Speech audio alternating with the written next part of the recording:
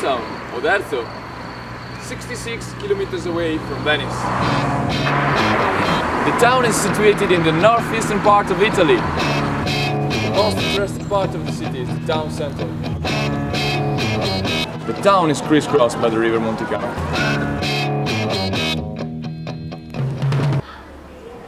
We have a glass pyramid, probably inspired by the Louvre.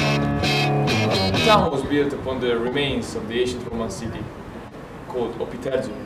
Here we are at the Foro Romano, the forum of the ancient Roman times.